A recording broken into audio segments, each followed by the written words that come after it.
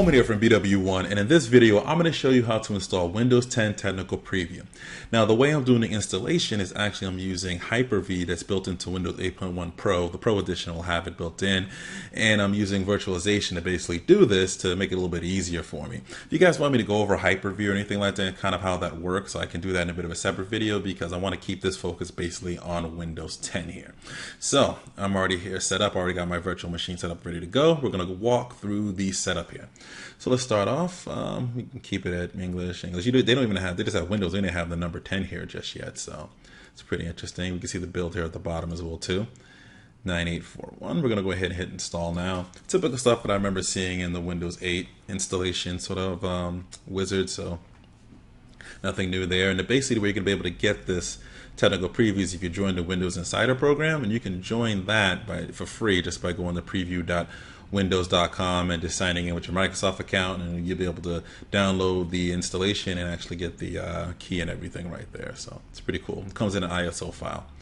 All right. So we're gonna not do an upgrade because we don't have anything to upgrade from. We're gonna do a custom install Windows only advanced and I have it set to 25 gigs. Now, I did have this set to 20 gigs earlier, and I did it did warn me that they recommend at least 21 gigs of storage to install this, so we have it set at 25 here. And from this point, it's unallocated space. We're just going to hit next and let the installation begin, and it should just go right into it. All right, Windows files already copied, getting ready for installation. What's interesting about this is this is like the same wizard they've pretty much used since Windows Vista. Everything kind of, they've tweaked some things around, but as far as the installation window and sort of setting up your disks and stuff, it looks pretty much exactly the same since the Windows Vista days. So they've kind of carried on that wizard, and it's been a very easy UI to understand. So it's pretty cool there. All right, so we're gonna go ahead and let this kind of run through, and then we'll probably skip on to the next step because this takes a little bit of a little bit of time usually, and it's kind of boring just looking at a screen telling you words and percentages. So we'll be right back.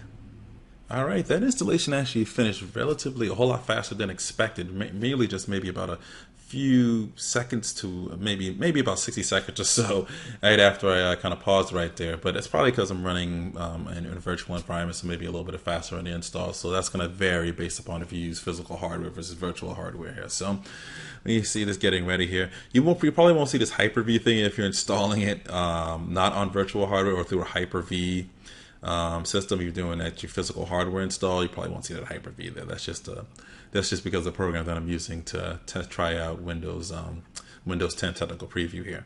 So letting this kind of go through, and hopefully we should get to the next screen in just a second instead of seeing a boring old blank screen. There we go. All right, let's go through a few basics. So we can go through these settings. We'll leave it at, uh, we'll customize this this time so we can see. You can connect to the network. Is it for home? Is it a public place? Well, home network for us. Update your PC and apps. Helps us protect your privacy. We, we don't know if this is going to be the final look of the installation, but this is basically what we see here.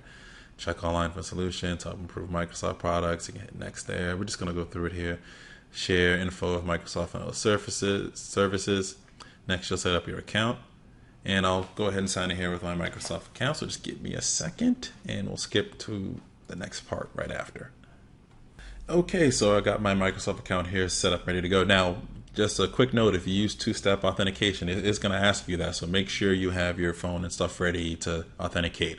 And now it's going to ask, like it did before, if you if you if you set up Windows 8 before and you have it on different PCs, it's going to ask you, well, what do you want to set up your PC as? You see here, I have a lot of PCs that I test, and what do I want to use as far as what what I want the system to be based on. I can use one of these or I can set it up as a new PC instead. I'm actually, I, I thought about setting up as a new PC instead, but I'm, I'm curious on this. I'm just going to set it up as a system manufacturer, which a lot of people will want to do. They'll probably want the role settings to sort of come over. So I'm going to see how it handles that. So let's go ahead and click next. It's going to set up my account here.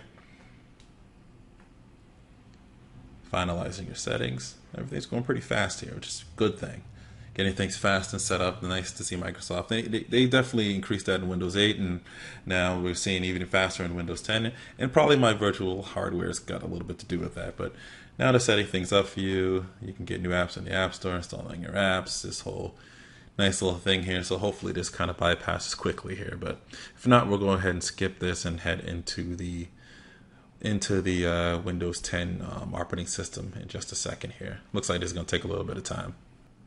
And boom, here we are in Windows 10 Technical Preview. Pretty um, simple installation is if, if you can see. Um, technical preview build evaluation build a 9841 as you can see there at the bottom it brought over my wallpaper as well too which is pretty cool. And you can see some of the icons have changed.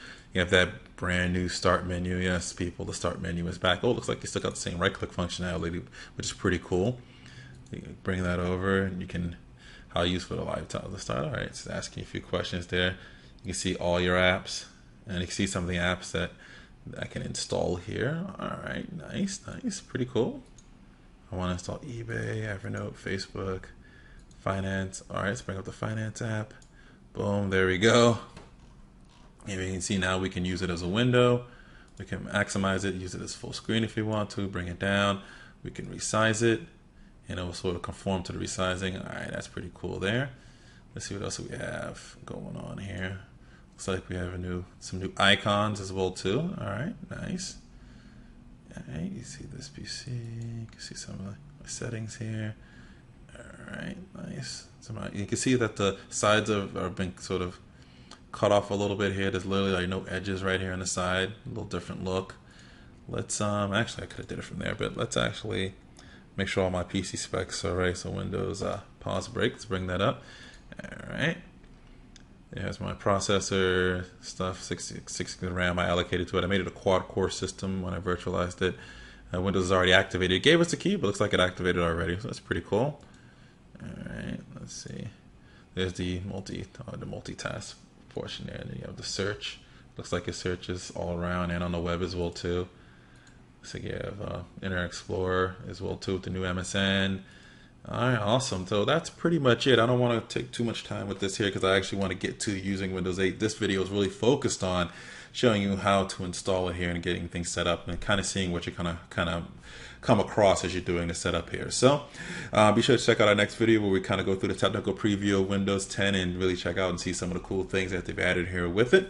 Um, post, your, any questions below if you have anything you simply want to see, you kind of want to see us try or anything like that. If you want me to do a video talking about Hyper-V and sort of how that works, you know, post that below. Let me know as well too. Also be sure to subscribe to our YouTube page. Connect with us on all of our social media. That'd be great. Facebook, Twitter, YouTube, Google Plus, and our main website at BW one.com. All that, all of those links are in the description. And always remember to live your tech world in high definition. Thanks for watching.